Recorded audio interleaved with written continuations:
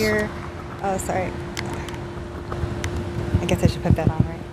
Yeah, go ahead and get mic'd up. Okay. Sorry. Yeah, um, I, I have you pretty good. So I, I- if I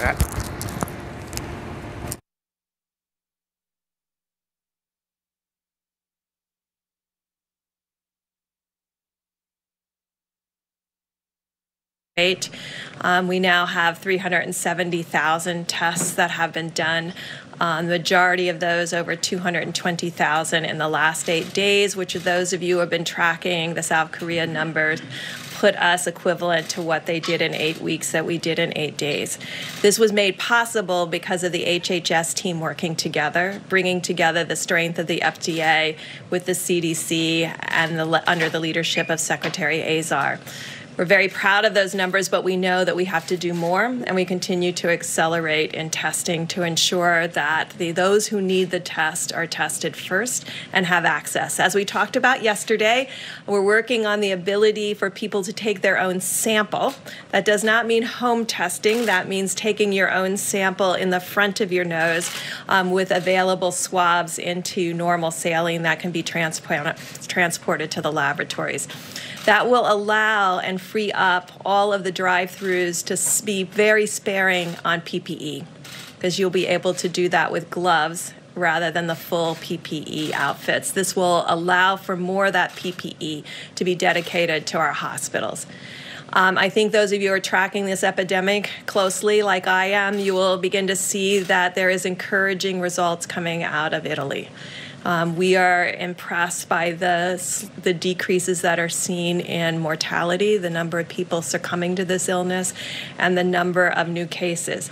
Our new cases will continue to surge because we're still working on our backlog. We continue to monitor what is happening in Washington, D.C. This is the president's COVID task force right now that you are hearing from, giving the latest on uh, what they are doing on a federal level to help out governments. Uh, we are going to be monitoring this. We are still uh, keeping an eye on it. We're going to continue on, though, with our local news. We have a lot to cover tonight at 5. Yeah, including Governor Greg Abbott providing an update on the latest numbers of COVID 19 cases in Texas. As of this afternoon, more than 11,000 tests had been administered across the state. More than 700 cases in 65 counties have come back positive, and so far 11 people have died. Here in Bexar County, the number of those tested positive rising to 69 with one death. And in San Antonio, school districts have started to announce that they are extending the school closure that is currently underway. Northeast ISD, Northside ISD, San Antonio ISD, SSA ISD, East Central ISD, Southwest ISD, Medina Valley ISD, Edgewood ISD, and we have just learned Alamo Heights ISD. Campuses all now remaining closed. The new date is April 24th.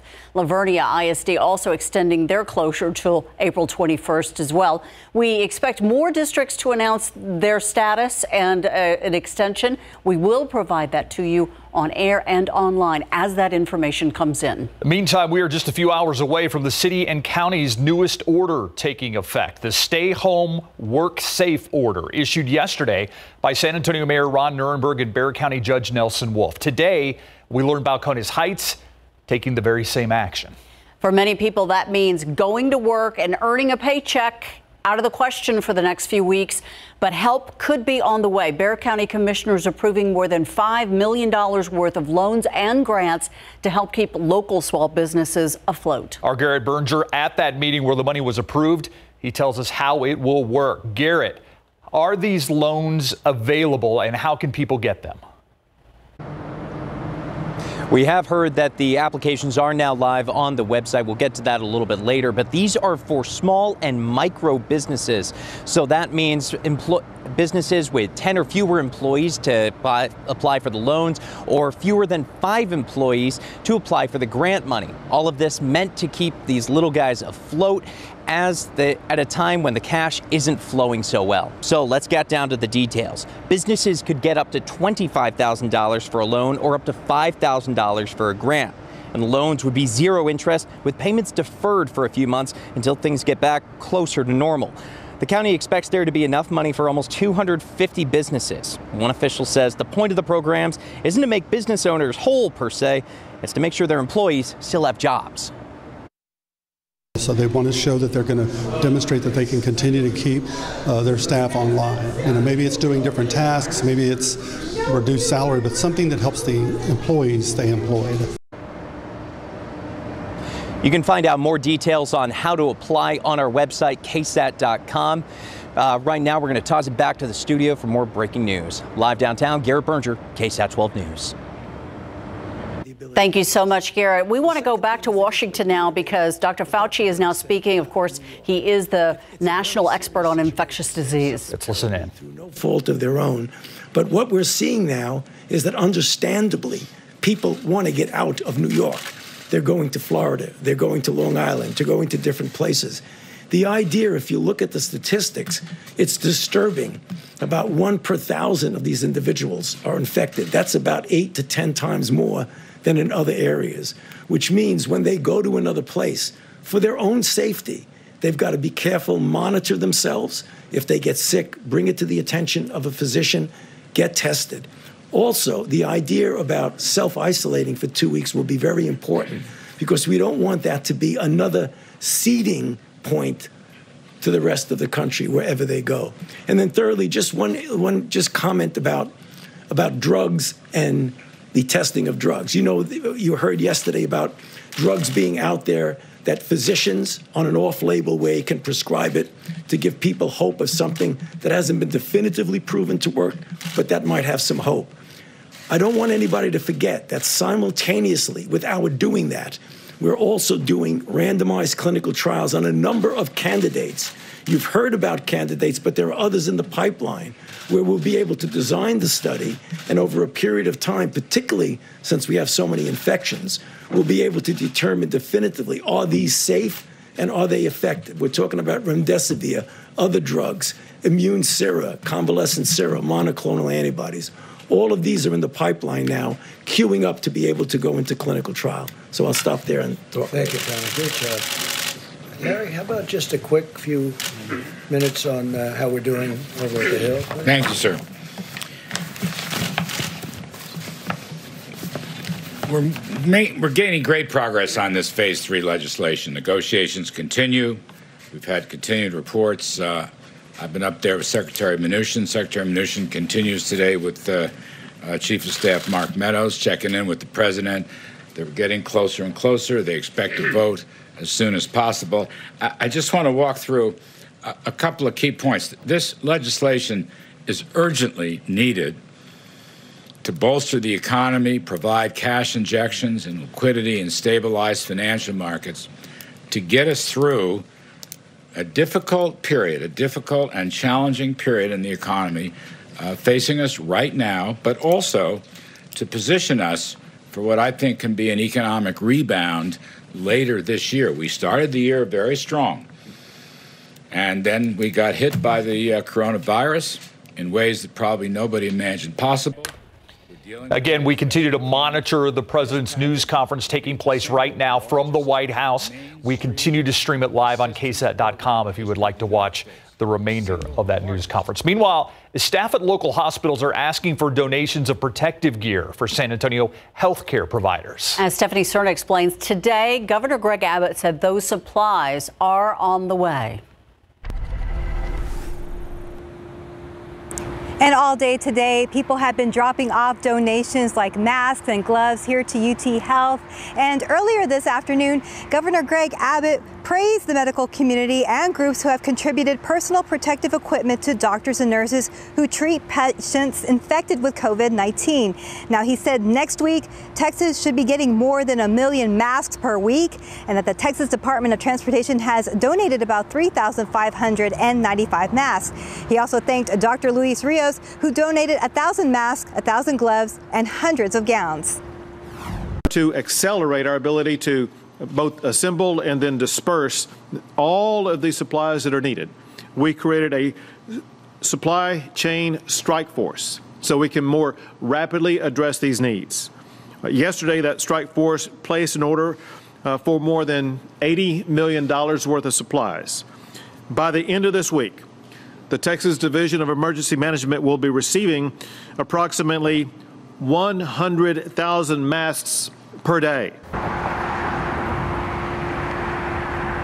And you can still donate to UT Health tomorrow from 7 to 6. They are looking for professional unused respiratory masks that are still in the packaging, medical gloves, eye protection goggles, face shields, and thermometers. Now, statewide, the governor encouraged people to donate or volunteer by going to texas.gov. We were live from the University Health System. Stephanie Serna, KSAT 12 News.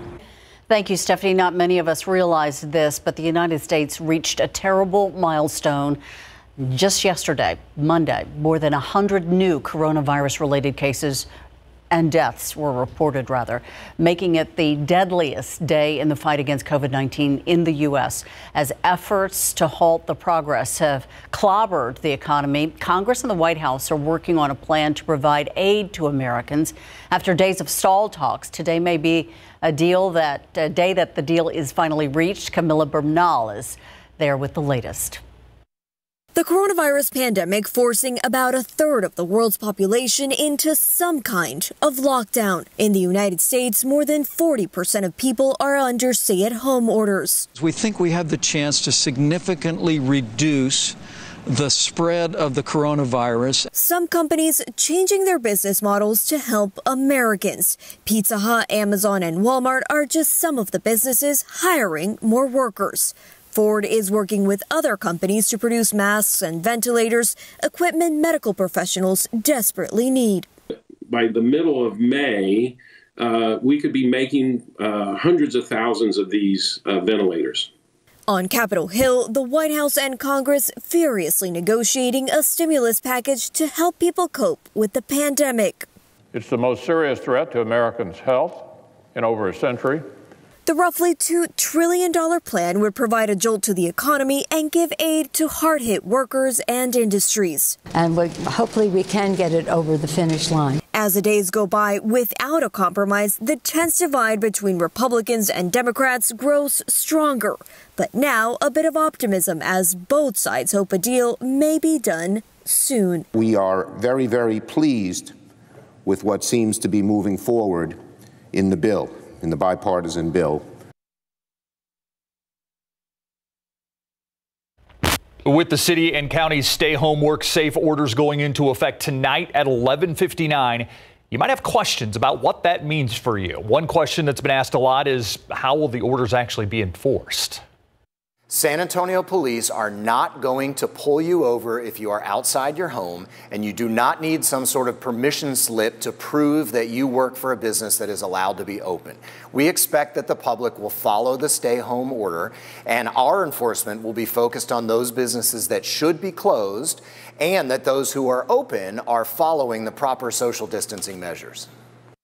Tonight, the city holding a question and answer session about COVID 19 and the emergency declaration. If you have a question you'd like answered, you can submit it on our website.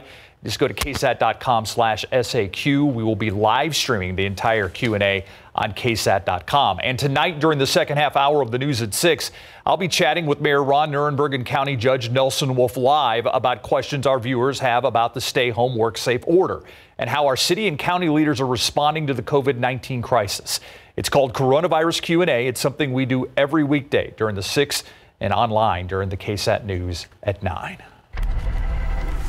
Wiped out grocery store shelves. Right now, let's check out the weather situation in Adam Caskey. Yeah, we have a lot of sunshine out there, and today was our first 90 degree day since late October, and it's going to be a trend here for the next few days. We'll be back to talk about, to talk about that in our next cold front coming up. Now wiped out grocery store shelves. Sorry about that. Driving up business for one local store. Uh, for people on the hunt for eggs, if you're looking to get your hands on some like everyone else, we're going to tell you where it is after the break.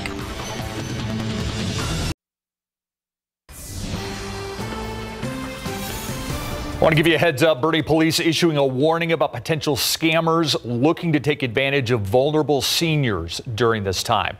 With more people opting for grocery and food delivery services, the Boerne Police Department reminding people never give personal information or bank information out over the phone. HEB and Favor have teamed up to offer seniors a safe way to get their groceries. The senior support line is for anyone 60 years old and up. The number to call 1 833 397 0080. It's open from 11 in the morning until 3 in the afternoon, seven days a week. Our Patty Santos So we'll have more about this scam coming up tonight on the Night Beat at 10.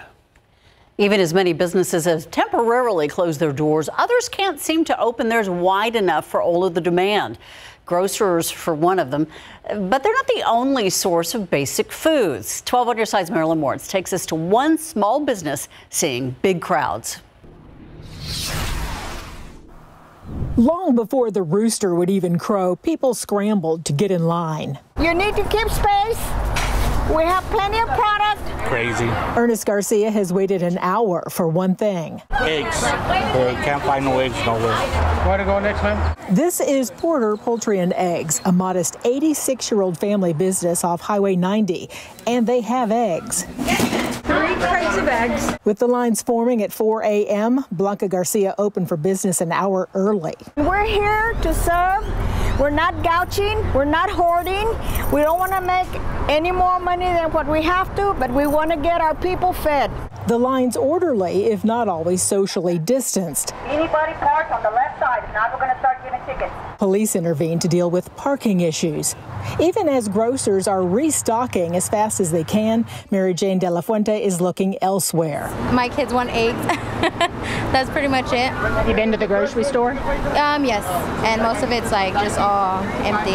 It's so sad. Garcia says she just got in three shipments. There are eggs. It's a matter of supply chain. These eggs are coming out of California. Right now, my daughter is trying to locate brokers that have eggs all over the United States. And it's a lot more than eggs in demand, and they have it inside this giant freezer. They have pallets of meat, beef, pork, and of course, poultry. Garcia says the past two weeks have seen high demand, and they're working to fill a need in the weeks ahead. Next! Marilyn Moritz, KSAT 12 News.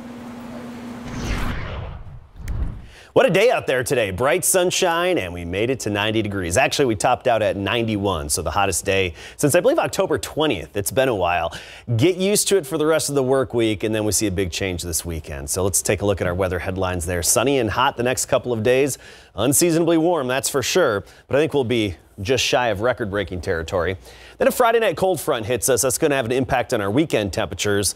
Unfortunately, with this front, just minimal chances of rain. But I do want to point out, speaking of rain, a recent rainfall, look at the grass around the airport. Nice and green. Everything is glowing nice and green out there. We're at an even 90 right now. Dew point of 54. That's what's nice. The dew point took a big hit and is down. More on that in a minute. First, temperatures Helotes 91, Bulverde as well, 88 in Devine and Bandera, 91 in New Braunfels. We're feeling a little hint of summertime out there on this Tuesday. Hondo and Uvalde at 92, along with Cotulla. So I think by tomorrow, we'll make it to 94 for the high temperature, and then you see things fall off as we get into the upcoming weekend. That's a result of the cold front that'll be headed our way. At that point, we'll be down in the mid to upper 70s. Regarding the humidity here, huge difference across South Texas. Very dry air in the hill country. Rock Springs, a dew point of 37, along with Kerrville. But then you head down into the coastal plain, very muggy, with dew points right at 70 degrees, the oppressive humidity. Little dry line snuck its way in, so we're getting a little break in the humidity, at least along and west of I 35. And I think that's going to be the case for a good portion of the day tomorrow as we go through time. You'll see that humidity try to take over again, but even into the afternoon, dew points likely in the 50s, which is comfortable, all things considered. But we're only going to have that for a day tomorrow. So we had the morning clouds earlier today. They cleared on out, then a lot of sunshine. Big blue H, big upper level high. That's our main driving force. It's not centered right overhead, so it's not really pressing down on us hard like it does in the summertime, but it's close enough to influence our weather. So more 90 degree temperatures and a lot of sunshine up until we get into the weekend. So here's the breakdown. Clear this evening, not too humid out there, at least if you're along and west of I 35. That includes San Antonio. And then temperatures falling off rather quickly. We'll go from 90 now to 84 at 8 p.m., 10 p.m. down into the mid 70s. So overall, becoming a very pleasant evening out there. Tomorrow morning, Not a bad start to the day at 56, but look how quickly we warm up. By noon, we'll be 85. I think we'll top out at 94 with a lot of sunshine tomorrow. So even warmer tomorrow than what we had today. Thursday, right around 90 degrees. I think we'll have some morning clouds uh, because of some added humidity in the air. Then a lot of sunshine, 91. Friday, right near 90, a little extra cloud cover as well. Friday night's when the cold front hits. With that front, uh, maybe a 20 to 30 percent chance of rain. We're not expecting all that much uh, from that cold front as it moves in in terms of rain, but behind it, we are expecting a big temperature drop, and that'll put us back down in the mid to upper 70s by the upcoming weekend. We'll be back with sports and more coming right up.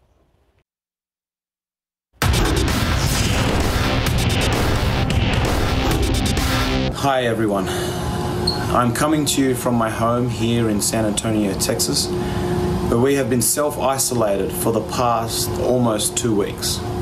I know everyone back home is doing it tough right now, but I hope you are all safe and also staying at home. Spurs star Patty Mills with a message to his fellow countrymen in Australia now that the 2020 Olympics in Tokyo have been officially postponed in big board sports. Now, we told you about this yesterday. Now it's become official. The 2020 Olympics scheduled for Tokyo this summer now been postponed. Will be played no later than the summer of 2021 due to the coronavirus outbreak. IOC Vice President Dick Pound gave us a heads up on Monday with his interview with USA Today. But today, the president of the International Olympic Committee, Thomas Bach, the Prime Minister of Japan, Shinzo Abe, verified it during a conference call this morning, both expressing their shared concern about the worldwide COVID 19 pandemic and what it is doing to people's lives and significant impact it is having on global athletes' preparations for the Games. Here's just part of the statement released today by the IOC. In the present circumstances and based on the information provided by the WHO today, the IOC President and Prime Minister of Japan have concluded that the Games of the 32nd Olympiad in Tokyo must be rescheduled to a date beyond 2020, but no later than summer 2021 to safeguard the health,